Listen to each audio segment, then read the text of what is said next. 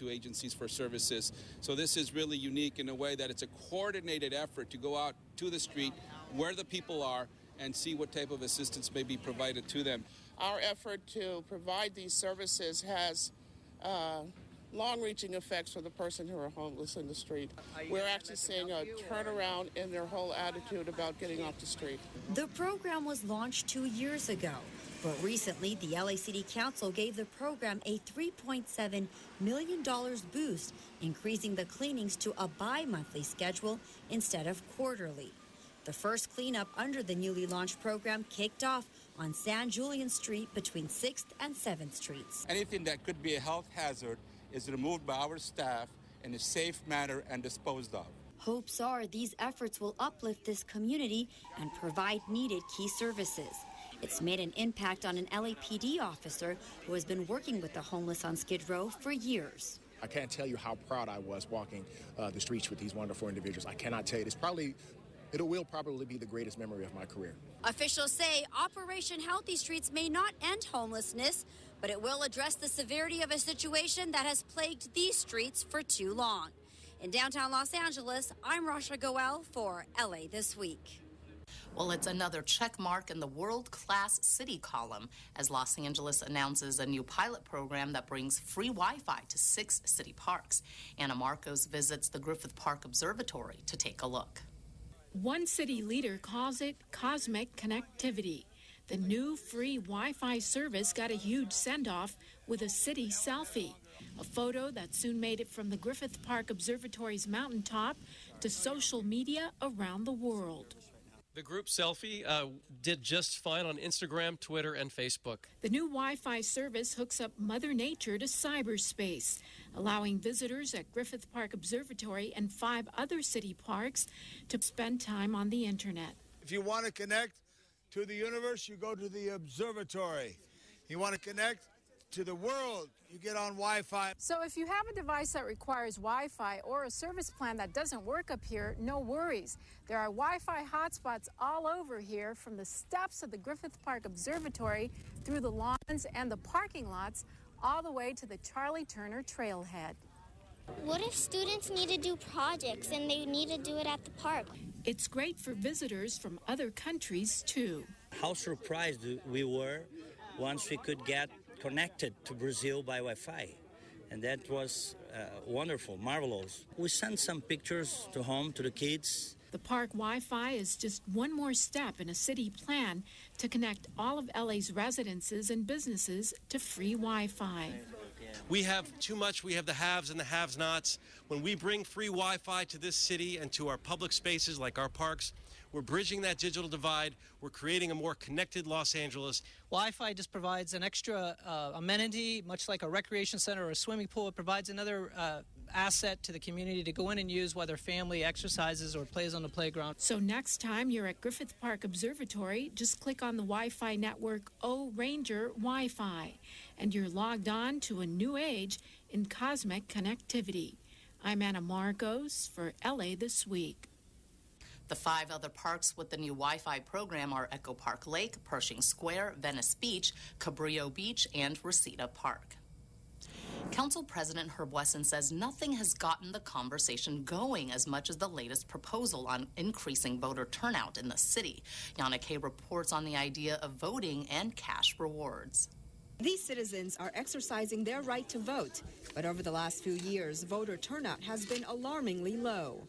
The percentage of the turnout uh, should make us ashamed. In fact, should make us angry. But a recent LA City Ethics Commission meeting offered a couple of possibilities to boost low voter turnout. City Council President Herb Wesson attended the meeting, which discussed two potential ideas. One would impose a penalty on voters who don't vote, and a second would offer an incentive where voters could enter a drawing to win a cash reward by simply showing up to the polls. To have a detailed conversation about an incentive is exciting. Ethics Commission President Nathan Hochman says Australia already imposes a $15 penalty for those who don't vote. The result is a 90% voter turnout. He says Los Angeles needs a similar innovative approach by implementing something like a lottery drawing. The way you enter the drawing is by literally showing up to vote. And again, you, you know, you can vote for anyone or in, in some cases, no one. But you have to show up to vote. But Vice President of the Ethics Commission, Jessica Levinson, addressed an issue that may be cause for concern. What about the idea that it brings more uninformed voters and people who just want this short term payoff? In the beginning, and I think after a while it becomes a habit, and those individuals that started out maybe for not the, the right reasons will then evolve into educated uh, voters that are there trying to do what they believe is, is right. Wesson says he believes there is a significant number of voters who are well versed in city issues, but who may not vote for a variety of reasons. But officials say a possible cash prize may just be the ticket. That has a chance of uh, potentially skyrocketing voter participation. And if City Council approves it, it could be ready to go by next year's primary election in March. I'm Yana Kay for LA This Week. A program created by President Eisenhower to foster international goodwill sets a milestone in Los Angeles. As Gil Reyes reports, the city celebrates its 55 year sister cities relationship with Nagoya, Japan. Take my hands, take my whole life too. Can you feel the love? Because that's what they're celebrating the 55th anniversary of the sibling like bond between the cities of Los Angeles and Nagoya, Japan. To see Nagoya Day, it's very special for us in Los Angeles because you're the first sister city who stepped up. LA's Sister Cities chairman Tom LaBonge at the Grove at Farmers Market to host Nagoya Day, an anniversary of LA's first Sister Cities relationship, the one forged with Nagoya, Japan in 1959. President Eisenhower created the Sister Cities program to promote peace and prosperity between cities around the world. And since then, they've benefited through the sharing of cultures, resources, and goodwill. Nagoya Mayor Takashi Kawamura, seen here with LA Mayor Eric Garcetti, is on a mission to boost tourism between our city and his. We hope to expand and spread the relationship between LA and Nagoya from now on. And please come Nagoya again, please, everyone. While the samurai mascot Hachimaru invites Angelinos to visit Nagoya Castle and Atsuta Shrine, Councilman LaBonge invites Nagoyans to visit the Grove and the Hollywood Walk of Fame. A cross promotion of cultures using one of Japan's most popular inventions, the karaoke machine. For I can't help falling in love with LA. At the Grove, Gil Reyes for LA This Week. Despite the 55 year fellowship, this only marked the first official Nagoya Day in the city of LA. LA has formed sister city relationships with 24 other international cities. And speaking of Japanese culture, it's alive and well in downtown's Little Tokyo. Here again is Gil Reyes, who takes us to the city's Nisei Week festivities. Taiko drummers helped kick off the 74th annual Nisei Week celebrations in downtown's Little Tokyo. It's a time to honor the contributions of Japanese Americans like Korean war hero Hiroshi Hershey Miyamura. I received uh, my Medal of Honor for the actions on the night of April 24th, 1951, when the Chinese started their spring offensive. I was a machine gun squad leader. And after hours of fighting, I uh, gave the order for my men to withdraw. That action not only earned him the nation's highest military award, the Medal of Honor, but also Grand Marshal duties for 2014's Nisei Week parade. Nisei Week began in 1934, inspired by the challenges of the aging Issei, or first generation Japanese Americans. Nisei, or the second generation, were tasked with handing down old traditions to their kin and beyond. Reminders include these Japanese flower arrangements and dances, in hopes that the new generation will never forget. In Little Tokyo, Gil Reyes for LA This Week. The internment of Japanese Americans during World War II halted the celebration for six years. That's why 2014's event is noted as the 74th Nisei Week celebration and not the 80th. Anchors aweigh, dozens of ships recently sailed into the port of Los Angeles for the Tall Ships Festival. But it wasn't just about the ships. A cute little, or maybe not so little, yellow friend also set sail. Yana Kay has more. Standing more than 60 feet tall and weighing 11 tons, it was quite a sight as the world's largest rubber duck slowly made its way under the Vincent Thomas Bridge at the Port of LA, attracting thousands of visitors. How could you not love a duck? Come on, come on, he's great. The adorable duck's arrival marked its West Coast debut and helped kick off the Tall Ships Festival, a five day event featuring more than a dozen domestic and international ships that sailed into the harbor. We're looking at just a, a, weekend of entertainment and fun and really introducing tens of thousands of people from the Los Angeles region to the LA waterfront. With their cannons going off, and their sails on full display. Visitors were treated to all of the power and might of these grand vessels. I loved it. I loved all the ships coming by. The bomb that went off today, it was from the ship. It freaked me out. And while the vessels were a huge hit, the friendly rubber ducky was certainly a main attraction. I like the rubber ducky. Los Angeles becomes only the second American city behind Pittsburgh to welcome the renowned inflatable duck, which has already visited a handful of other countries. The duck was the brainchild of Dutch artist Florentijn Hofman. and whether it was the rubber ducky or the allure of the ships, the harbor was brimming with activity, a welcome sight for city officials. We are going to bring 300,000 people to our waterfront, and our port of Los Angeles is embracing it. Transforming the port of LA one attraction at a time. I'm Yana Kay for LA This Week. By the way, the rubber duck has also appeared in Australia, Taiwan, China, Japan, Brazil, New Zealand, and Belgium.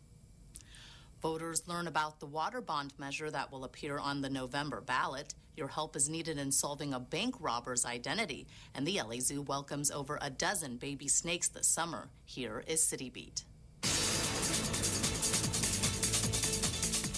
As we enter the third year of drought here in California, Assemblyman Adrin Nazarian, who represents Sherman Oaks, along with Metropolitan Water District of Southern California and Los Angeles Department of Water and Power, hosted a meeting at Los Angeles Valley College to discuss the recently passed water bond. Come November, there will be a ballot measure that will ask voters to approve $7.5 billion in borrowing for water projects. Just in LA, in the last 40 years, we've actually maintained consumption at the same level. Not the same rate, not the same percentage, the same level. So that speaks to not only the conservation work that we've done as residents, but also the technological uh, investments we've made. The largest bulk of the $7.5 billion bond measure goes to water storage projects and to preventing groundwater contaminants. Her face has been caught by bank surveillance cameras, and now the Los Angeles Police Department needs the public's help in identifying the woman who police say robbed 10 area banks. Council members Tom LaBonge and Paul Koretz have approved a $10,000 reward in the case. The Federal Bureau of Investigation has also offered a $5,000 reward. She will provide the teller with a demand note and then display a handgun at the same time. Uh, she makes her way out of the bank, and no vehicles have been seen or associated with her at this point. Police say the so called purse packing bandit robbed banks from October of 2012 to July of this year. You are asked to call the LAPD at 213 486 6840 with information. The LA Zoo welcomes an overwhelming number of snake babies, all born on exhibit in the Desert Lair building over the last month. Among the snake species recently born is a litter of five rattleless rattlesnakes, a litter of seven white southwest speckled rattlesnakes, and five sidewinder rattlesnakes. All of the babies are being taken care of off site until they are able to be sent to zoos across the country. Music lovers had the chance recently to enjoy jazz music and to celebrate its roots here in our city. Here's Rasha Goel. Angelenos enjoyed two days of festivities at the 19th annual Central Avenue Jazz Festival, which pays homage to the role Central Avenue played in establishing jazz music and culture. Central Avenue is considered by most to be the birthplace of jazz on the West Coast in the 1920s. Really taking advantage of the multicultural, multi ethnic uh, diversity of this community uh, and celebrating uh, the arts in a way that brings us together and uh, encourages business growth. This year, the festival was expected to draw more than 35,000 people and was bigger than previous years. For musicians like Maia, it holds a significant value. This is a historic area where everybody came through here and then you know, Duke Ellington, Billie Holiday, you name it, Erroll Garner, Cab Calloway. They used to come in this area and play when they came to LA. The festival was free to the public and took place along Central Avenue from 43rd Street to Martin Luther King Boulevard. Heard about this for many years and never made it, so I wanted to see this jazz uh, performances. And perhaps even shake a leg. I'm Rasha Goel for LA This Week. In this week's list of things to do, an outdoor showing of La Bamba, an exhibit on Harry Potter, and paying tribute to the iconic Route 66. Summer is coming to an end, and so is the Pershing Square Friday Night Flick series, which ends in September. The film being shown on Friday, August 29th will be La Bamba. It's the Pershing Square Facebook choice. La Bamba is the story of the life and career of Chicano rock and roll star Ritchie Valens. Films are shown on a 20 foot inflatable screen and start at 8 p.m. Pershing Square is located at 532 South Olive Street downtown. Pack a picnic, bring a blanket or lawn chair. You can find details at facebook.com slash Pershing Square LA. And if you are a Harry Potter fan, you won't want to miss this exhibit at the Hollywood Museum. The museum's new collection of sorcery includes acquisitions from the Harry Potter film franchise. Included in the exhibit are the broom, quill, and ink bottle Harry used while at Hogwarts School of Witchcraft and Wizardry. A black wand box signed by actress Maggie Smith and a series of wand boxes with their coordinating wands are displayed, highlighted by Harry's black handle instruction wand and Dumbledore's purple handle wand, both in their dragon skin boxes. The Hollywood Museum is located at 1660 North Highland Avenue in Hollywood. For ticket prices and hours, go to thehollywoodmuseum.com. And if you're more into real life, specifically the history of our region, then check out the exhibit Route 66 The Road and the Romance on view at the Autry National Center of the American West, now through January 4th of 2015. Discover the facts and fiction surrounding the Mother Road through more than 250 artifacts that trace the history of the route and its impact on American popular culture.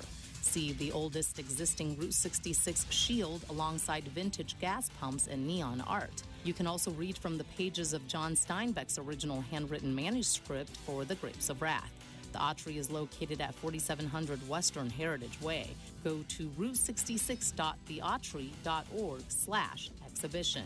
And that's a look at some upcoming things to do. The kids in Hollywood are ready to play ball as the LA Dodgers begin another season of baseball clinics. Anna Marcos takes us to a session at the Lemon Grove Rec Center. Hazel Zamora may look all LA Dodger, well, almost. But don't be deceived by the pink Hello Kitty bag. Inside are stored some of her biggest treasures her mitt and baseball bat. And she's ready to go to bat with some real LA Dodgers. Because you could bat, catch, and, and, and hit the ball, and you could run into the bases. This is one of the baseball clinics the LA Dodgers are hosting this season. And these kids at Hollywood's Lemon Grove Rec Center will get one on one training with the likes of ex Dodgers players Al Downing and Tim Leary. You get to see Major League Baseball players, whether they're current or former, and you hear, you know, the proper how to do it. There's a lot of times you're coached by your neighbor. The kids rotate through the stations, hitting, pitching, catching, and running their way through the sessions. Apparently, even reporters can learn something here. So that would have been a home run that you hit? No, it would have been an RBI single. This is one of the things that kids are learning. It's called fielding a ball. Let's see if I can do it. Catch and cover. I did it right? Very good. Not bad for a lefty. I like baseball. I play for fun. Um, I'm good, but not that good. It's a real good sport. It helps you with a lot of moves and then it helps you in other sports. I hope to learn how to how to pitch, how to catch the ball properly with the baseball mitt, and learn more stuff about baseball. I know what I get out of it. I, when I was a youngster, I was one of those kids. And so, from the pros to the kids, the baseball Dodgers legacy gets passed on once again. I'm Anna Marcos for LA This Week. And in This Week in Tweets, we go from baseball to basketball. For all the controversy in the aftermath of former Clippers owner Don Sterling's recorded racist comments that eventually got him banned from the NBA, the city of Los Angeles now celebrates a new era, one in which former Microsoft CEO Steve Ballmer now owns the team.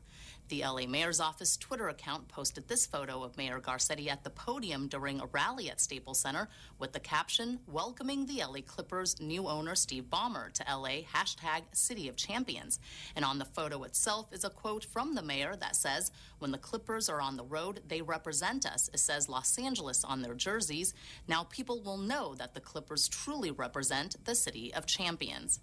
And over on Instagram, the LA Clippers shared this photo saying, Thanks for bringing the energy at our fan festival. Hashtag Clipper Nation. Hashtag It's a New Day. And that's going to do it for this edition. Thanks for joining us. I'm Ellen Chang. A reminder that you could catch us online at lacityview.org. You can also follow and like us on Facebook. We leave you with the sights and sounds of the Tall Ships Festival. See you back here next week for more of LA This Week.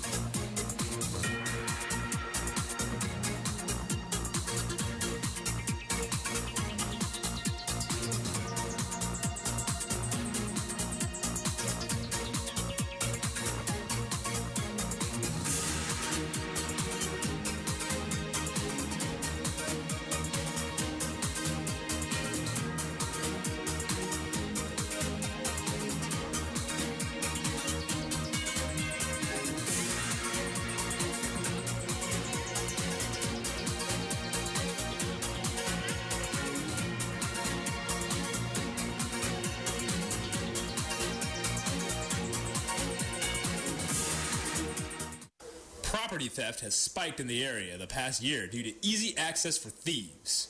Almost 80% of car theft occurs because of unlocked doors. Locking your doors takes a matter of seconds and can become so routine that you may forget whether you locked your doors or not. But it's worth the effort to double check. The more successful thieves are at taking items out of a car, the more chances they are going to come back to that area. Don't let our town be that area. One simple precaution is to hide or cover any valuable items when leaving your car unattended. Simple actions like these can prevent you from becoming a victim of property theft. The Los Angeles Police Department would like you to remember lock it or lose it. Hey, buddy, what's shaking? We're not prepared for an earthquake.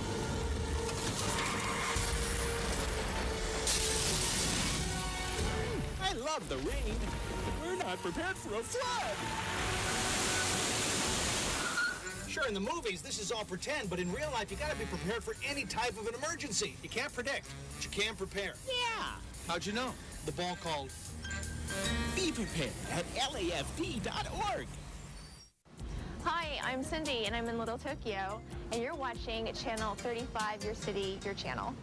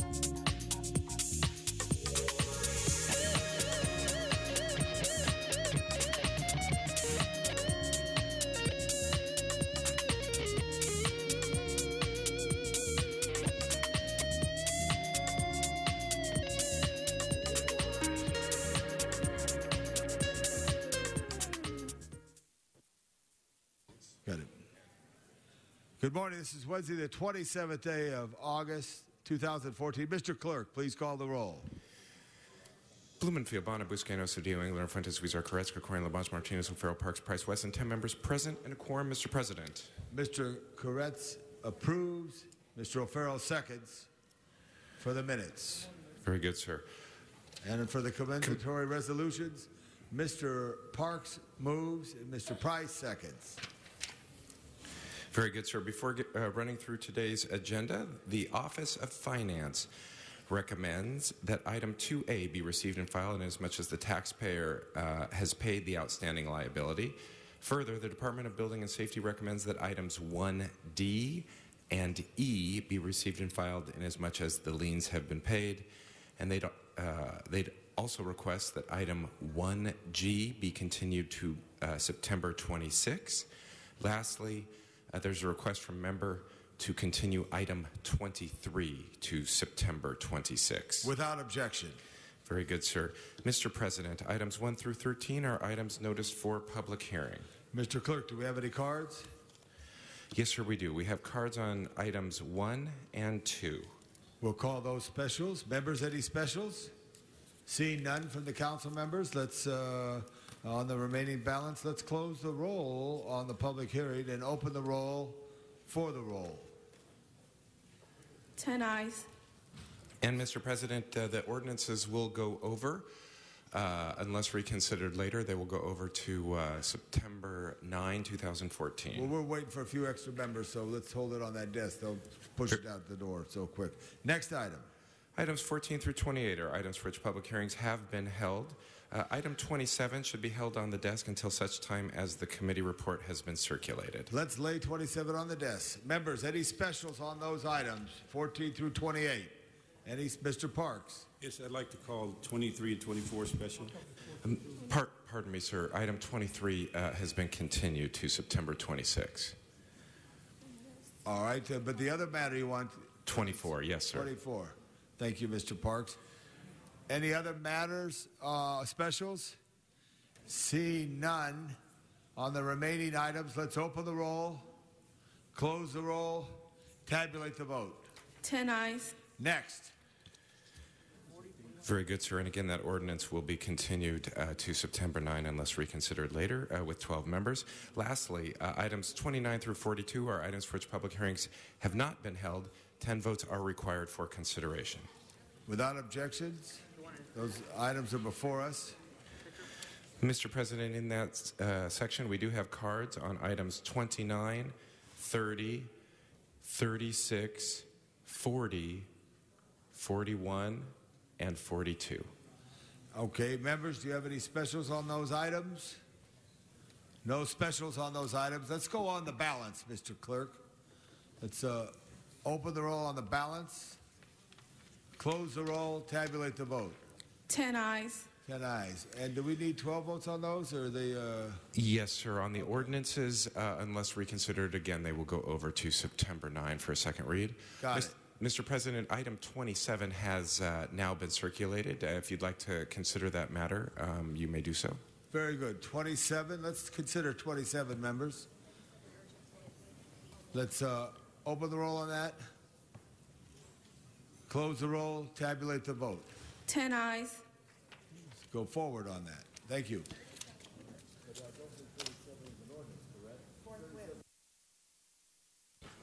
All right, on item 37, I want you to take it correctly and expedite it forthwith. Thank you, Mr. Clerk. Very good, sir. 37. Urgent forthwith corrected by staff. Thank you. I'm sorry, staff.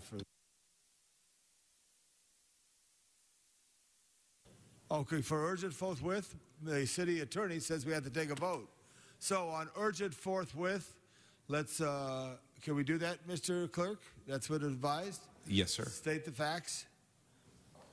Urban, urban, ur- You're now voting to suspend the rules and send this matter uh, before council adjourns uh, to the mayor for signature. Thank you so much.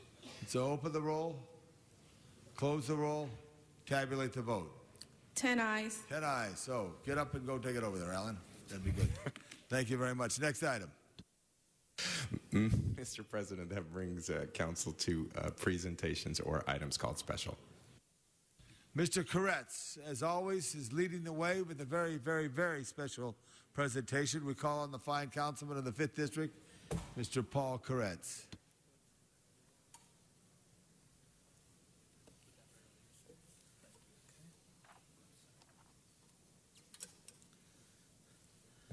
Thank you, Mr. President and colleagues. I'm delighted that we're again honoring Stand Up to Cancer in advance of its fourth global telecast, which will feature many stars and will air on a vast array of major broadcast and cable TV outlets, live and commercial free on Friday night, September 5th at 8 p.m. our time. Probably all of us have had our lives, or those of our family and friends, touched destructively by cancer. I know my beloved mother lost her life to pancreatic cancer many years ago. And so we not only respect, but we revere Stand Up to Cancer for its remarkable efforts and leadership in seeking to end the scourge of cancer. With us representing Stand Up to Cancer's Council of Finders and Advisor, Founders and Advisors uh, is Kathleen Loeb, uh, Kathleen Lobb, I apologize. And please, uh, let's give her a big hand and let's give Stand Up to Cancer a big hand. Stand Up to Cancer and everyone involved with it are among today's most remarkable champions for bettering the human condition because Stand Up to Cancer strives to rid us of cancer. It raises immense funds and supports and leads extraordinary dynamic scientific collaborations and boldly innovative research. And in doing so, offering hope, easing pain and anguish, and ultimately saving untold numbers of lives. After it was founded in 2008, its first three telecasts have taken place September 2008, 2010, and 2012 as well. They were viewed in over 190 countries, generating an amazing $261 million in pledges, with 100% of the public funds going directly into research grants. This has made possible an amazing surge of cancer research. What's especially exciting is that Stand Up to Cancer research is often a, of a high risk, high reward nature, meant to deliver results quickly so that we might benefit speedily and so that other breakthroughs might be sparked as we leapfrog to the most effective therapies, remedies, and cures. And so much of the volunteer effort that makes this vital research possible is undertaken by people and businesses in Southern California, particularly the entertainment industry. We often talk about how important this industry is to us culturally, artistically, and economically, but the industry's contribution through Stand Up to Cancer alone is absolutely breathtaking and magical. Of course, we should applaud the stars who take part in the telecast, but also their behind the scenes executives and networks and studios, and frankly, everyone from all the ranks of the industry who give their time and effort and resources. But whether we're talking about the scientists or the entertainment industry or founding donors like Major League Baseball or other crucially significant donors like the Los Angeles Times right across the street, this is a team effort. And now I'd like us to hear from Kathleen Lobb of Stand Up to Counselors, Cancer's Council of Founders and Advisors. Kathleen? Thank you very much, Council Member Koretz. Council President and honorary council members, I am so proud and honored to be here with you as the City Council declares Stand Up to Cancer Day in Los Angeles for the third time. As Councilmember Koretz mentioned, this initiative was really born of the entertainment industry. There were a group of women, Sherry Lansing, the lovely late Laura Ziskin, uh, the Entertainment Industry Foundation CEO Lisa Paulson, who said, what can we do to make a difference? How can we bring the industry's resources to bear to engage the public in supporting a whole new way of cancer research? That was seven years ago. Fast forward, there are 800 scientists working on dream teams around this country and around the world, and they really have made progress for patients. There's a brand new FDA approved therapy for pancreatic cancer. Uh, one for breast cancer, and the list goes on and on. These uh, is seen as a transformative uh, effort within the research community, and it really all started here in Los Angeles with the entertainment community. We have our uh, telecast coming up a week from Friday. We hope you'll all tune in. Uh, and if you have opportunities to encourage your constituents to do that, maybe we could broadcast it here on Channel 35. That would be terrific. But I just speak on behalf of everyone connected with Stand Up to Cancer uh, in thanking you for uh, your support. We have a little sizzle reel now that we can roll to give you a sense of what we've done over these last several years. This year alone, cancer will claim nearly 8 million lives worldwide. One in two men and one in three women will be diagnosed with cancer in their lifetimes. We must do better. We must stand up to cancer. I'm Will Smith. I'm Tom Hanks. I'm George Clooney, and I stand up to cancer. My name is Samuel L. Jackson. I'm Ellen DeGeneres. I'm Scarlett Johansson, and I stand up to cancer. The central passion of Stand Up to Cancer is to bring new and effective treatments for the benefit of patients. We've learned the one size fits all strategy for treating the disease is not the way we should be approaching it, but we need to tailor the treatment. In that sense, I think Stand Up has been a leader. Stand Up to Cancer works primarily through dream teams that bring together top researchers from different institutions. This collaborative approach drives progress at a pace that was previously unheard of. I don't think there's any question that patients are alive today because of the Stand Up to Cancer efforts. Every time I would get a scan, everything kept looking better. I was shocked because I was told there was no way that was ever going to happen. Stand Up to Cancer model allows us to collaborate across what is normally a divide that's difficult to bridge in research. I got a call, I get CAT scan, you have significant shrinkage. It's a miracle. I might be part of the cure. God, is that amazing? I just hope. It is the best dollar spent in this country for support of cancer research and benefit of patients. Stand Up to Cancer's model has already produced some dramatic results. We turn next to news about cancer. It concerns a new blood test for cancer. Imagine a blood test so precise it can spot a single cancer cell among a billion healthy ones. The research is supported by a $15 million grant from Stand Up to Cancer. In 2008, Stand Up to Cancer was launched with a roadblock television event, the first ever to proactively raise funds for any cause. With three multi network specials to date, more than $260 million has been pledged. Stand Up to Cancer brought together doctors and scientists, stars from film and TV, music, sports, and politics, and millions of you. This evening, let us unite and stand up to cancer. What would your life be like if no one stood up? Because we know what's possible when enough of us stand together. With hope and this extraordinary Stand Up to Cancer movement, we can get closer to that day when that wolf named cancer is quiet, still, and powerless. Building on the incredible response in the U.S., the Stand Up to Cancer movement is now going global. This is Stand Up to Cancer, and wherever you are in the UK this evening, we need your help. SU2C has also become an annual event in the Netherlands. And in 2014, Stand Up to Cancer is coming to Canada.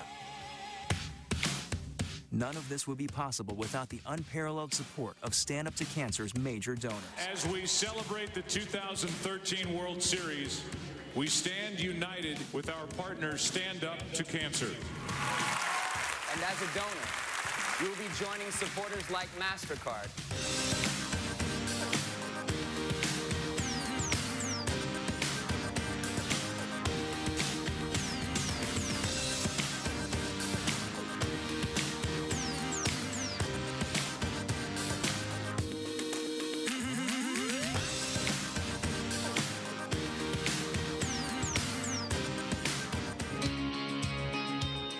Up to Cancer has joined forces with legendary filmmaker Ken Burns and Pulitzer Prize winning author Siddhartha Mukherjee to create a groundbreaking multi part documentary about cancer coming to PBS in 2015.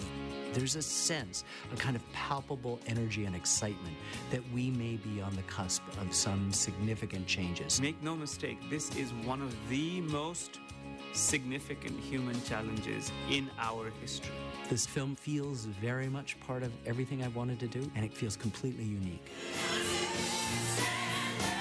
The great thing about the human species is that we, the lucky ones, can stand up for the not so lucky. What's important about what you're doing today is that you're standing up. There are 28 million cancer survivors in the world. Stand Up to Cancer's dream? To make everyone diagnosed with cancer a survivor. And I ask only one thing of you Will you stand up with me? Will you stand up to cancer?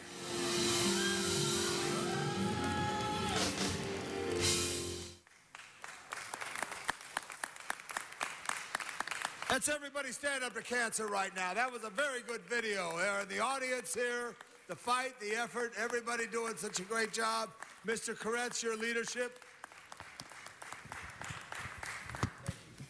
Well, thank you again, Mr. President. So I encourage again everyone to tune in to the telecast on Friday, September 5th at 8 p.m., live from the Shrine Auditorium.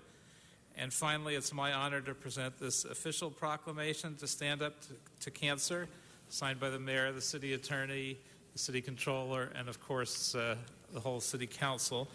And uh, I'll read just the briefest excerpt, which states that Stand Up to Cancer will empower, empower and inspire countless people across the globe on September 5th, giving us a great way to support the fight against cancer while providing essential knowledge in the form of stirring messages, images of hope, scientific and medical progress, individual heroism, and united activism. For those reasons, the City Council of the City of Los Angeles hereby declares September 5th Stand Up to Cancer Day in the city of Los Angeles.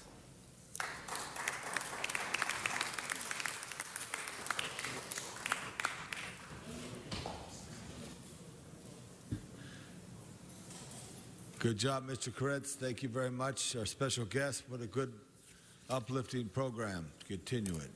Give a shout out to my wife, Bridget, a cancer survivor. All right, Mr. Clerk, what's before us right now? Let's see. We got uh, 1, 2, 3, 4, 12.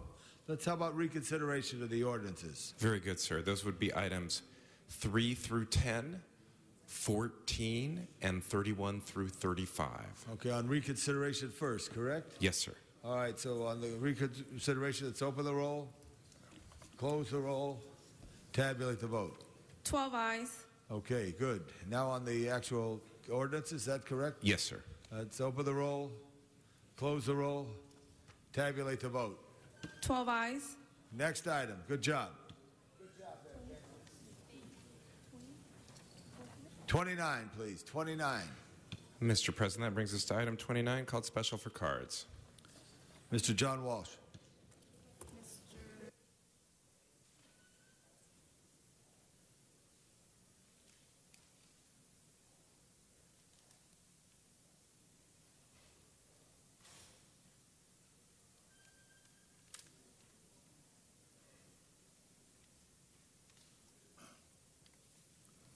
John Walsh, blogging at HollywoodHighlands.org. This concerns reappointment of uh, Ms. Lara Yeretzian to the police permit review panel. They're the people who deny licenses to uh, people who, uh, to, to uh, bars and nightclubs. Uh, they do a halfway decent job. They should be, uh, I've gone to one of their meetings, and uh, they should be denying a lot more licenses uh, because uh, the amount of narcotics being sold at the clubs is the reason that Suge Knight was shot down because they're fighting over, the gangs are fighting over who gets to run the, the gang, the, the drug concessions at the nightclubs. Uh, we um, think Miss La- she should be appointed, and uh, I don't see her here. HollywoodHighlands.org. Stay tuned. Thank you very much on that issue. Let's uh, open the roll, close the roll, tabulate a vote on reappointment. 12 ayes. So ordered. Next item, That brings us to item 30 called Special for Cards. sir. Mr. Walsh.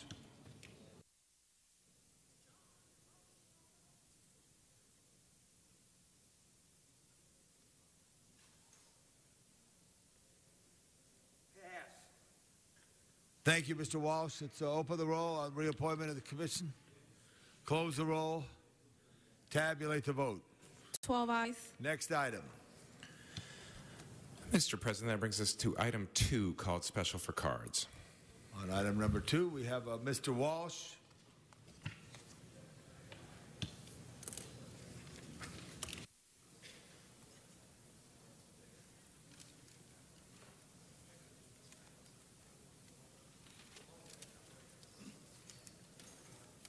John Walsh, blogging at HollywoodHighlands.org or straight to J. Walsh Confidential, uh, tweeting. Don't miss the tweets. Uh, and they're at Hollywood Dems. This concerns, again, uh, so called unpaid taxes.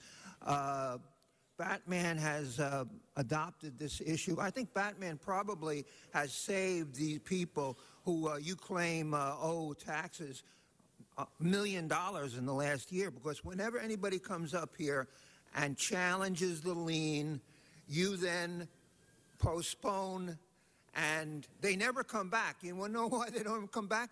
Because the liens are sizably reduced. If there's a lien on your property, as there is on Phase One Communications for $136,000, uh, when you come here, we'll tell you what to say, we'll tell you what to do, and you'll get the lien reduced sizably. HollywoodHighlands.org. That completes the comment. And, pardon me, sir, uh, again, the uh, department uh, recommends that this matter be received and filed inasmuch as much as the taxpayer has paid the outstanding liability. Thank you very much for that receive and file. So we need to vote on that, Alan? Uh, or you could do it without objection. Without objection, Mr. City Clerk. Next item. Mr. President, that brings us to item 42 called Special for Cards. Is Nora Camp- Campos? Nora Campos here? Nora Campos? There's Nora Campos. Senator Nora Campos, don't forget. The whole issue here is Excuse me, will you identify yourself, Mr. Herman? South Mr. Herman. South Identi- Lawn- Mr. Herman, You just announced my name, sir. I want you to identify and yourself. hold my time. Identify yourself. Why? Identify yourself. You have my card. You just announced my name. Mr. City Attorney, thank you very much. Under the Brown Act, you're going to tell me to announce my name twice? Look at you run my clock? What an idiot. Come on.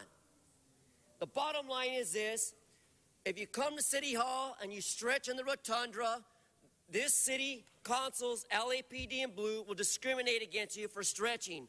They find it offensive to do what? So, again, another wasteful minute of my time, Mr. LaBonge. Keep your one minute. No speakers on the queue. Open the roll. Close the roll. Tabulate the vote. 12 ayes. Thank you. Next item.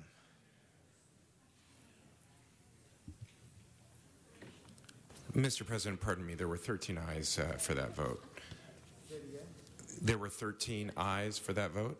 13 ayes. Very, Very good, sir. Mr. President, that brings us to item 41 called Special for Cards.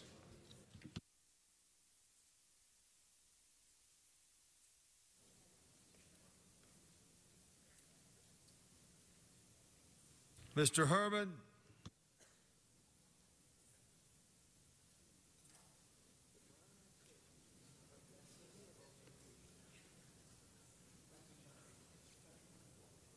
Do we understand what the Ralph M. Brown Act means? I sure hope so, because you're violating my rights. But we're going to stick to topic, Mr. Huizar, Mr. Buscaino, relative to funding for the unimproved Median Islands Maintenance in Council District 14. Incidentally, in the conversation yesterday, old business, under item 19 and 20, the discussion was who was going to be responsible, accountable for the guidelines of our sidewalks and streets to be safe for us. Incidentally, this council from 1973 has done very little to improve the maintenance the maintenance of our streets and sidewalks. So, Mr. City Attorney, if you don't want slip and fall incidents, if you don't want the public to sue the city and cost us Mr. Millions this is of about a median island maintenance. Thank you. relative funding for these improved medians, I'm saying to you this that the moment you alter a street, people with disabilities have equal opportunity to benefit from all programs, service, and activities. And this applies to social service, courts, voting, town meetings, medians in the streets, curb cuts, ramp cuts, anything that has to involve a maintenance for the public's interest and their safety. So again, 54950 to 54963, Assembly Bill 194, Senator Dora Campos, do your reading and apply the Brown Act today. Ralph M. Brown Act. Thank you. Let's open the roll.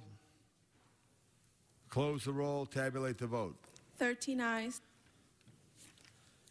Next item. Mr. President, that brings us to item 40 called Special for Cards. Mr. Walsh.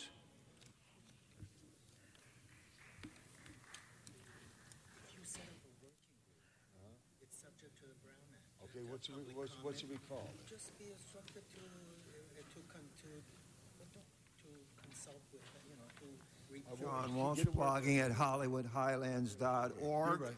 Herb Wesson's over here talking to a lobbyist. Um, in case you wonder out there where he is. Number 40, uh, this again is unsolved hit and run death. Even Mr. Buscaino has called LA the hit and run capital of the planet Earth. It's not considered a crime here. It's, you know, it's, it's the reaping of unrestricted alcohol licenses. Alka Hollywood, Planet Alcohol, Center of the Universe Alcohol here. Come on Friday and Saturday. Budweiser ho- is holding a gangster rap festival. If you're an alcoholic, if you're a drunk, if you're psychotic, if you're on uh, any kind of drug, come to Hollywood, come to LA, come to downtown LA. Now, this is the reward offer for an unsolved hit and run death, Thomas Price, six months, $50,000. As we know, in the past 15 years, only one hit and ru- uh, only one reward for a death has been collected. You trumpeted it. This is a joke. Come to my website, you'll see the, the shirt they sell on Hollywood Boulevard. It says snitches who get, get stitches, and there's a straight razor and there's blood on the shirt, and the shirt is red. Everybody out there knows that anybody who gives information about who was the hit and run killer of Thomas Price will be killed. And the LAPD just can't catch anybody. All he's interested in is another five years. This is the home of the Keystone Cops and the LAPD. They're the same thing. HollywoodHighlands.org. Mr. Herman.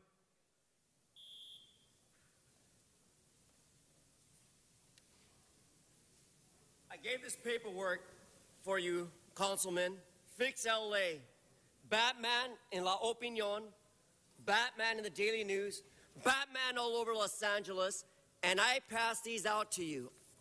There's a number and your name on it, and it's going to be given to you. For the record. Again, we've become the hit and run capital of the world, not because we're ignorant, it's because we don't have a tolerance, a tolerance to abuse the permits of giving alcohol license in the city of Los Angeles. When Judge Ferguson's son was hit and killed in a car accident, likely it was because our elected officials here continue to give out license and permits for convenience and necessity to drink and drive. We become the hit and run capital of the world. But, Mr. Speaker and fellow Angelenos, I, your representative, civil rights activist, along with Mr. HollywoodHighland.org, John Walsh, have indicated the issues and the crisis, the war on your illegal permit process. You're not fixing LA by giving restaurants. Listen here, Mr. Cor- Mr. President, he is not talking about this. All right, Mr. You're out of line, Mr. Herman. Mr. Herman. He's disrupting the meeting. Offer unsolved hit and run death of Thomas Price of an additional six months. Why don't you post the rewards of $50,000 so that people know that you actually did something on behalf of the public? And do not threaten me with the sergeant of arms. I'm speaking correctly, politically, on the stance we must stop the hit and run capital of the world, and that's here in Los Angeles. Thank you. All right, seeing no speakers, let's open the roll, close the roll, tabulate the vote.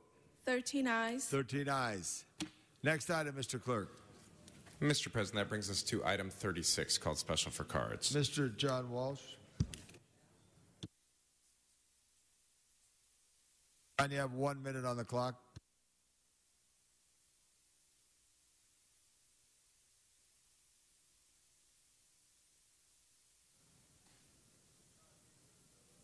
John Walsh, blogging at HollywoodHighlands.org. One minute on the clock, maybe three or four days on my life once the gangster rappers come after me. Uh, number 36, again, REAP, rent escrow account program. Uh, the uh, city inspector was again at uh, my apartment. Wonderful meeting uh, uh, about uh, problems in my apartment, a paint job. Uh, I have nothing but praise for the REAP program and all of your efforts for tenants. Go to some place like Glendale. They don't give a rat's bottom about tenants in places like Glendale and Burbank. Hollywood, I know it annoys you the greatest when I praise you, and when my praise comes, it's fulsome and it's total and it's honest. You're doing a very good job on REAP. HollywoodHighlands.org, tweeting at Hollywood Dems. Correct, Mr. Clerk, 36. Ari Benefield?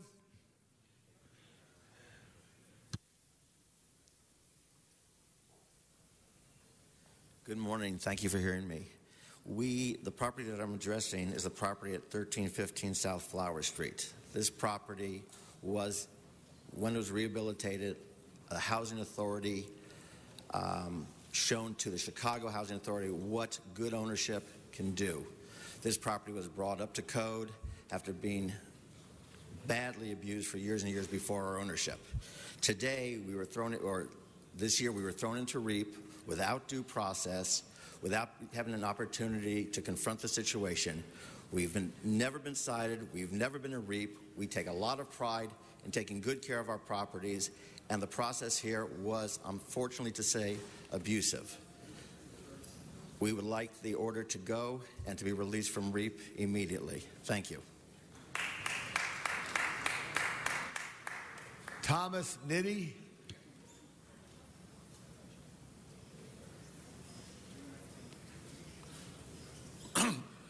I represent the owners of 1315 Flower. Um, to elaborate a little bit, the council may not be aware that you are putting buildings in REAP that are in perfect compliance. This property is a perfect example. It simply needed a permit, and the um, it didn't have a permit, so the building was set up and put in REAP. Prior to the hearing, the general manager's hearing, the owner got the permit. However, the housing department's policy is to put a perfectly compliant building in REAP anyhow. This does not this does not work. This does not encourage owners to fix their buildings if you put perfectly compliant buildings in REAP. So we are here now to ask the building to be taken out of REAP. It should have never been put in REAP in the first in, in the first place. Um, in the event there are any complaints from any tenants or anything, the manager is here to address those complaints. The building is kept in compliance. The tenants' complaints are addressed right away. There are no open violations. There are no open complaints. Uh, this matter was continued from July 30th uh, to today. Uh, because of the continuance, it cost the owners $12,500. That's 5000 in REAP fees and 7500 in lost rents simply because the matter was continued for a few weeks. So we would ask that the matter not be continued, that the property be taken out of REAP at this time. And once again, since it was in full compliance prior to the first hearing, it never should have been put in REAP in the first place. Thank you. Thank you. Carmen Lopez?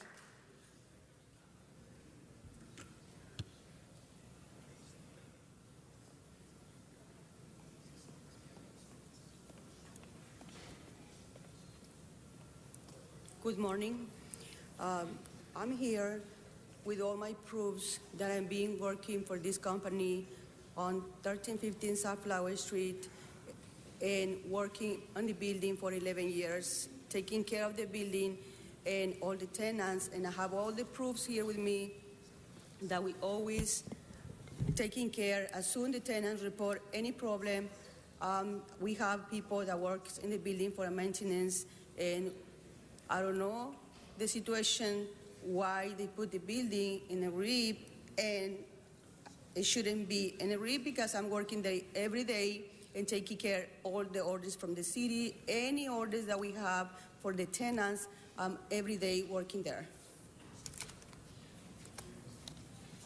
Thank you. Thank you. Mort Sonnenthal? And with Mr. Huizar's deputy could come here, please. Uh, thank you for hearing me. Um, this is regarding 1315 South Flower. Um, the building is in complete compliance. We've spent a lot of money to keep it that way consistently. uh, with our manager that just came up. We've got receipts and everything of that nature. Um, so please, can we take it out of REAP? Thank you very much. Okay, so, uh, Mr. Clerk, we've had a uh, request from the Office of the 14th District to remove this from REAP. So do we need a motion on that, or is the N- No, sir, Mr. Uh, President. Uh, this matter is agendized to be removed. Very from good. Well, good, good. Okay, so no other comment on that? Let's open the roll, close the roll, tabulate the vote. 13 ayes. 13 ayes. Next item. Mr. President, that brings us to item 24. And Mr. Parks does that uh, you want to speak on this, Mr. Parks? Yes, I'd just like to ask city staff to come up. Uh, all I need is, and we've gotten a lot of questions about this in the community, someone explain what shared economy is. Yeah, we can't figure it out. Have you seen the article in The Economist? yeah. yeah. Good morning. Could you just give us an over? Until I found this article in The Economist, I had no idea what shared economy or the extent that it covers. And I just would like you to explain to the public what does that term mean? Um, it's essentially just a sharing of resources and goods between people. Um, usually it's through the use of technology. Uh, it's very akin to what's happening with Lyft and Uber and Airbnb. Um, so that's the essential elements of it. And one of the primary things that appears is such as residences, sharing residences as far as travel and things. And that's where it comes to a lot of questions in the community that you could end up with a small hotel that used to be a single family resi- residence. And so is that the issue? Is there limits on it, or is that something that we're asking it to be studied to determine what the limits are? So the item before you is actually a request to do um, that type of study to review uh, not only the uh, positive impacts but also the negative impacts of this type of business that may be in communities. Um, there are a number of research areas that will probably be looked at because it is a growing type of business. Uh, there are many types of, of, of goods and services that can be exchanged. Uh, the most common ones have been such as um, rooms and uh, personal homes or sharing of cars and bicycles. And there's new things that are being shared now. It could be um, uh, personal services and things of that nature. So each one will be rather unique, and we're going to have to look at those individually, and it may be different regulations that would affect each one of those study areas. And part of your study is going to include issues such as the economy, such as business tax, sales tax, income tax, and things of that nature. Yes, it would include those areas as well. Okay, thank you. Thank you, Mr. Parks. So thank you so much. We did have this in committee. There's a public card that will add to the file, but there's no requirement. S- Uh, Mr. Koretz has something to say, as always, is a brilliant mind from Hamilton High. Thank you, Mr. President. Um, as you probably know, I'm not necessarily a big fan of uh, any of these uh, bandit operations as I view them from bandit hotels to bandit cabs. Um, but if if we're going to address this issue at a minimum, um, if we don't decide that these are, are incompatible uses that have negative impacts on our community, at least we have to identify the problems and mitigate them. Um, I think that's certainly true with uh, Airbnb, which uh, uh, have quality of life impacts in our neighborhoods, um, and, uh, true with uh, the rideshare industry as well, which has a lot of safety and consumer impacts. I'm glad we're taking this careful look, and so not just uh, responding in a knee-jerk fashion, which I'm guilty of in some ways. I think uh, folks that are are supportive of some of these are also responding in a knee-jerk way. Hey, this is cool technology. It's a it's a modern step, but I think we really need to study the impacts and really dispassionately look at what are the real impacts on our our residents, our economy, um, and uh, and then take appropriate actions if there are appropriate actions. So I think it's about time we gave this careful study. I think this is a great idea, and I strongly support it. Thank you very much. Mr. Bonin to close. Uh, move approval of the committee report. Very good. But pardon me, sir. There are two committee reports uh, that are before you. Would you like to move the uh, Planning and Land Use Management Committee report and receive and file the Economic Development Committee report? Yes. Very good, sir. Uh, we, we do need a seconder for that motion. Oh, as seconded by Mr. Wesson. Okay, that being done, Mr. Clerk, you're organized. Let's open the roll, close the roll, tabulate the vote. 13 ayes. Thank you. Mr. President, that brings us to item number one, called Special for Cards. Mr. Herman.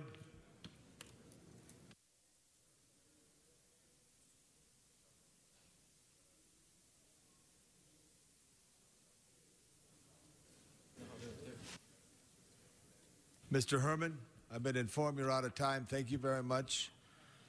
Uh, note that. Thank you. Gilbert Moret. Just a few.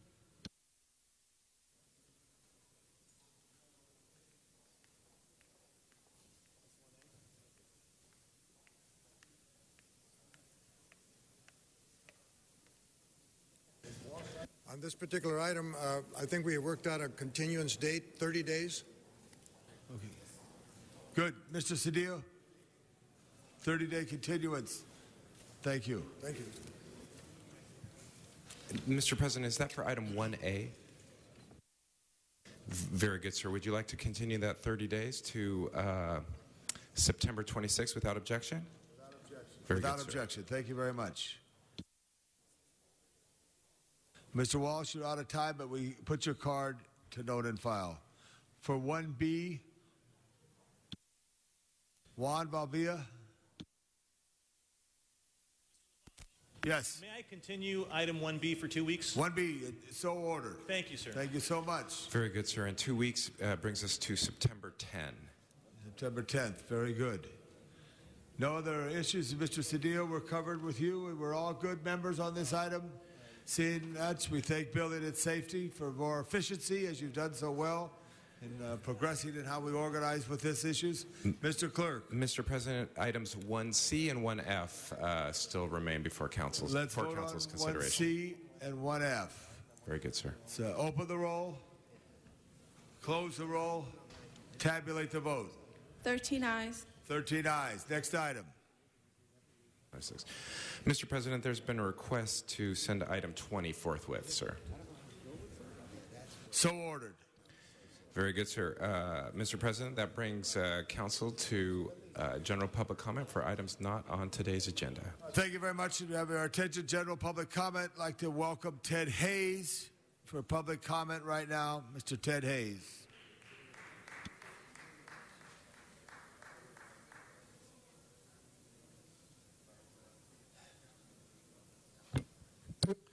Good morning, Mr. President, council members. I'm Ted Hayes. I'm known primarily as an activist for the homeless since 1985 in the city. I, um, I remain so, an activist for the homeless, but that's the bottom of our society. But over those years, I, um, I'm 63 now. I'm in pretty good health. God has blessed me. And over those, in those earlier years, I, um, said some things to council members and to your employees, bureaucrats, etc. Out of my passion and ignorance, I um, called them stupid, lazy, ignorant, things that I should never ever felt or nor uttered because you work very hard, especially those of you who are not elected officials. You don't get the glory and you are overworked. And I just want to say to you, I apologize. And if you spread the word on throughout the city employees that I did say that to you, and I'm sorry for that. Um, and, and, and one of the reasons why I- I'm doing this, I want to clear my soul and make sure that what I do in the future, that uh, you know and understand that I mean nothing against you personally. I have no racial prejudice or animus towards anyone. My folks did not bring me up that way. I may have said some things and bad attitude I didn't mean to say, and I take those back. I apologize.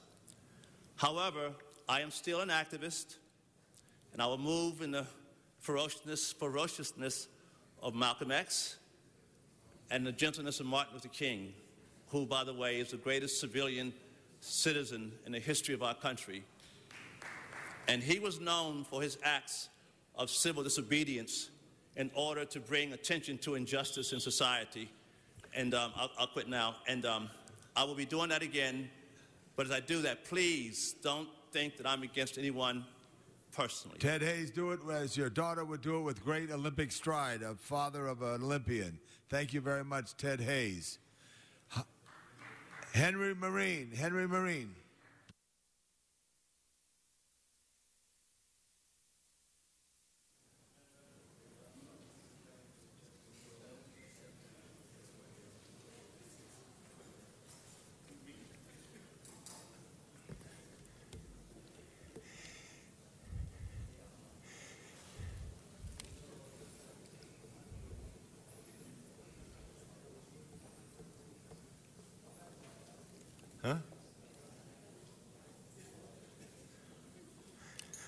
Oh, you, you ready to listen now?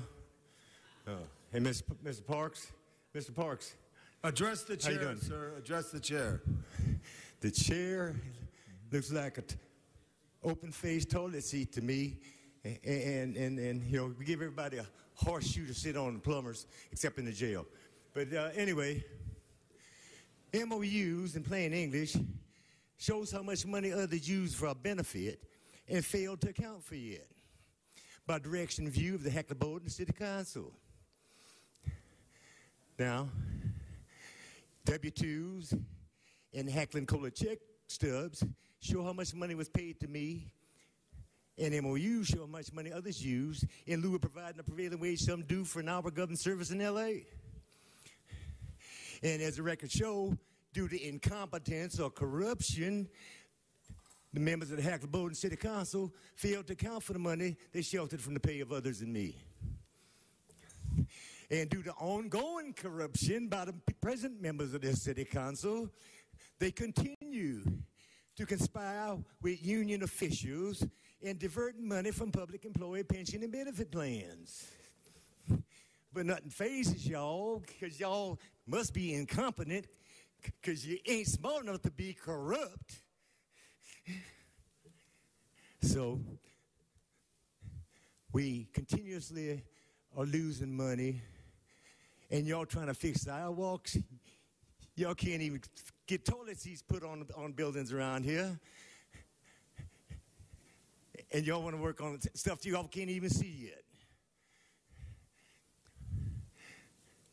And we got these two ex-mayors from San Fernando Valley and uh, West LA, and they ain't worth the shit on this board, and they wasn't worth the shit in the city. Hey, those uh, cities. Robert, Lucas Robert.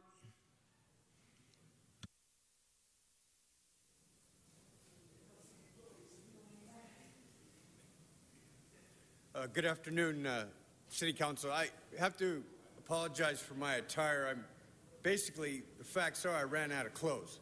So, uh, plus, I'm going to go experience some of the monster surf that we're experiencing down uh, in the Pacific. Also, I wanted to mention, uh, remind you of the nonprofit that I was started. I drew up a mission statement that I should have uh, for you to review uh, next week. Uh, some things need to be adjusted so they make a little bit more sense and not so generally worded. I had an experience with uh, a couple of dual diagnosis roommates, uh, and this plays along with a lot of what I'm trying to do. When people with uh, dysfunctional behaviors are medicated and not supervised or monitored or enrolled in some type of a therapeutic environment, things can go horribly wrong. One of my roommates ended up in the hospital, the other uh, went to jail with unmonitored uh, prescription drugs. I have a deep concern with this because uh, my young life, I was uh, forced to take medications when really I didn't need them.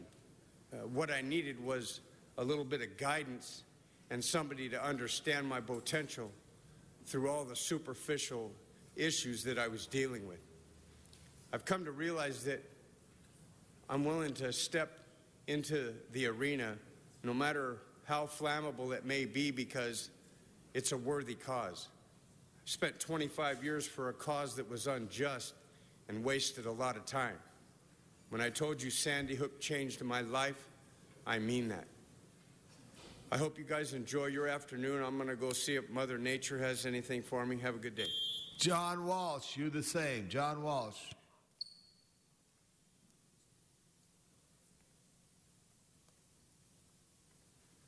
John Walsh, blogging at HollywoodHighlands.org.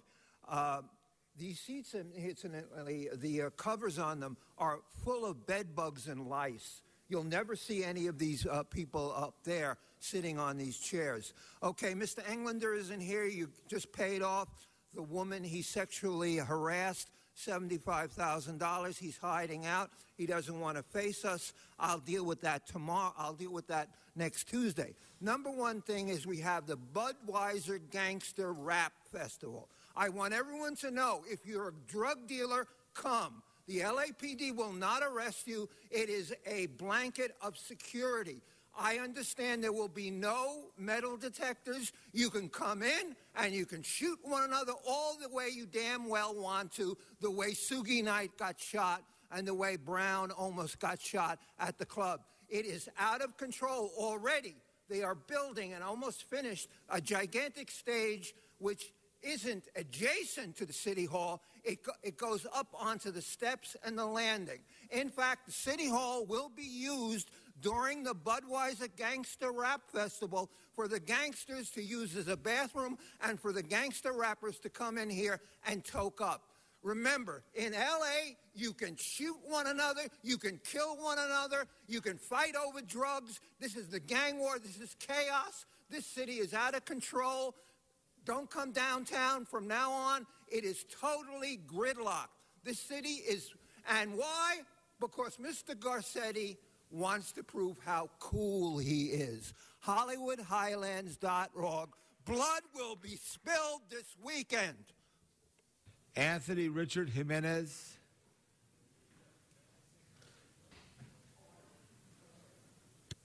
Once again, Los Angeles, the people of the state of California yield the sovereignty to the agencies for which serve them.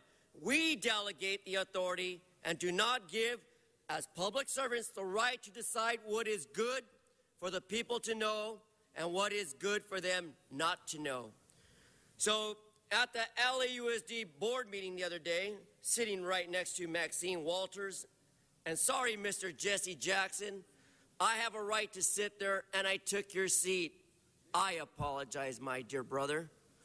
But on public comment, under the Guide to Disability Rights and Laws, I am not making any mistake participating in my activism for all you on your behalf.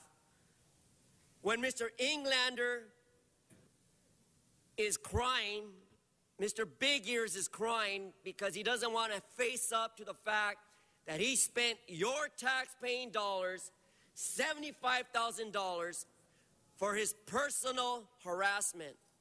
And then we can talk about Mr. Huizar sitting ne next to me at my right. And I could say we spent $158,000 for a possible DUI. So, do we have the potential? Do we have the potential? The potential to lose lives for the convenience of alcohol? Excuse me.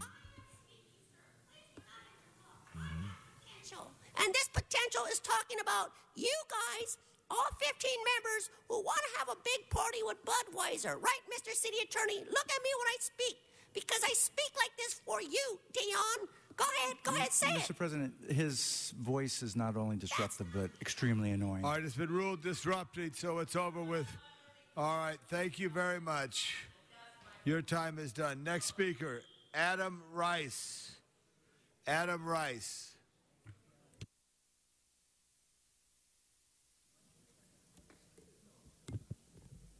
Good morning, council members. My name is Adam Rice. I'm the director of the Los Angeles Anti-Eviction Campaign. I'm also a proud member of the Los Angeles Human Right to Housing Collective and the Los Angeles Community Action Network.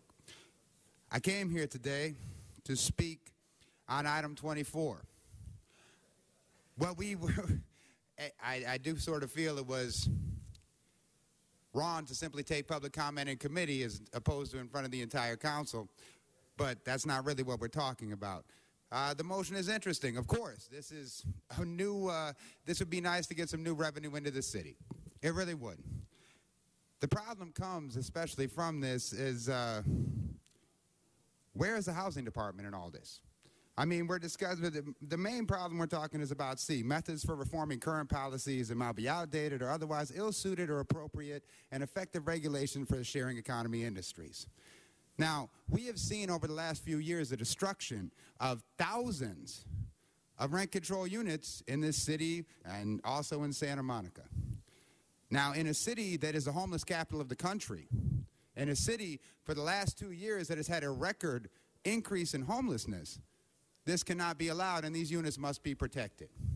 So we would definitely like to add another point to this if it is up to consideration. I see only one of you is actually looking at me. So let's listen. We need to protect our city's housing stock. We need to cure this cancer of homelessness that exists in our midst. And allowing private business to turn protected properties into vacation homes is not going to work. So in this committee, we need to have community stakeholders back in it. That's what we need. Thank you. All power to the people. Daniel, I want to pronounce your name correctly. Is there Daniel here? Last name? Mr. Clerk, will you help me, please? Brian Barajas, right now.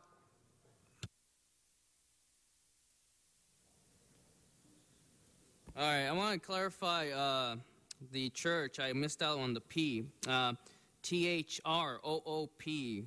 And I think it's pronounced either Throp or something. Memorial Church. Please attend to the church on Saturday, this Saturday, August 30th, 11 a.m. to 5 p.m. So that'll be 300 South Los Robles Avenue, Pasadena 91101. The event itself is going to have to be a collaboration of the fact that the American people have to think broader. They cannot just stick to local issues. Obviously, I guess, I don't know how many people here think on, on, on a broad issue, but because of the lack of uh, capacity to understand that whatever happens out there will happen here. And it's an issue that I take because um, the problem I, I think I have to bring forth is this is that if you do not organize with Russia, China, India, Argentina, Brazil, South Africa, Egypt, and other countries, Germany, Ukraine, if all these countries do not come into one to deal with the ISIS force, and it is a force, but I have to emphasize, as I've always been, it, it's beyond that. The empire is dead right now, and it just seems like nobody wants to take in a, a, a principal charge on actually leading with policies. Tell the Congress what to actually do. We have a top down process which includes a fusion program. But the only person that can actually initiate that is when we in the United States elect a president. Thank you. That completes public comment right now. Do you have a call? Is there a gentleman named David or Donald? K C H E U S A 1417 East 2nd Street, item 36E. Anyone here for item 36E? This matter was noted. Mr. Clerk, please note that card. Thank you very much. What is before us, Mr. Clerk? Council has motions for posting and referral. So ordered. The desk is clear. Any announcements, members? No announcements. Any adjourning motions? Seeing no adjourning motions at this time, continue to serve the city well. Thank you, staff. This meeting is adjourned.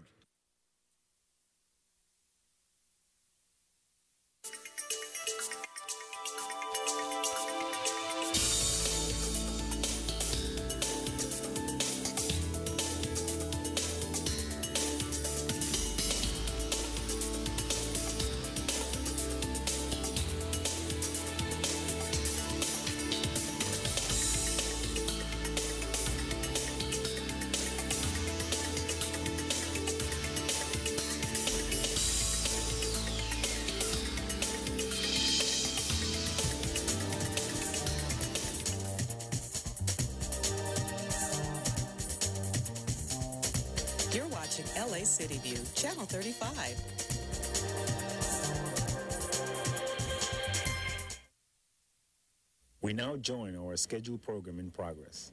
Ocean Beach and Baker Beach. So, stormwater that is not captured can contribute to overwhelming our system and creating discharges into the Bay or ocean.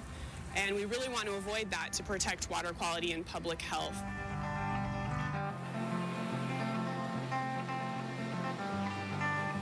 Stormwater runoff can make you sick. In fact, uh, there are a number of beach closures up and down the, the, our state's coastline that are a result of uh, bacteria exceedances and other types of exceedances that make the water unfit for, for swimming.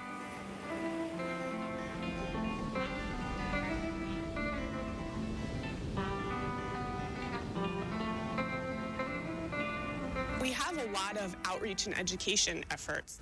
We have rainwater harvesting program